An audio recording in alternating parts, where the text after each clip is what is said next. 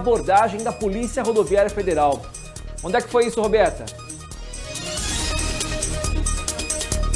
Parra, toda a movimentação foi na cidade de Guaíra, mas tudo começou em Pérola, quando essa vítima foi estava de caminhonete, foi abordada então por dois ladrões. Esses homens levaram a vítima como refém e o objetivo era chegar até o Paraguai para vender a caminhonete.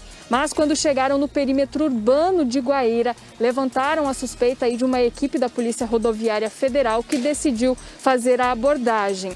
O motorista não respeitou a ordem de parada, empreendeu fuga. Essa fuga é, levou algum tempo, mas felizmente a equipe conseguiu interceptar, fez aí a abordagem da caminhonete, conseguiu prender esses dois homens, um de 20 e outro de 27 anos. A vítima tem 66 anos, estava muito abalado, ele estava amarrado dentro do veículo e era ameaçado a todo instante. Os policiais também ah, apreenderam as, algumas facas que eram usadas então para tocar o terror nessa vítima. Os homens disseram então que fariam a comercialização desse veículo no Paraguai e lá mesmo libertariam essa vítima. Eles foram presos, claro, a vítima felizmente passa bem, mas toda essa ocorrência foi encaminhada para a delegacia de Iguaíra, Parra. E agora fica todo, todo o trauma né, da pessoa que esteve em poder dos bandidos, imaginando né, que estava entre a vida e a morte naquele momento. Fica um trauma muito grande, demora bastante para ser esquecido. Meio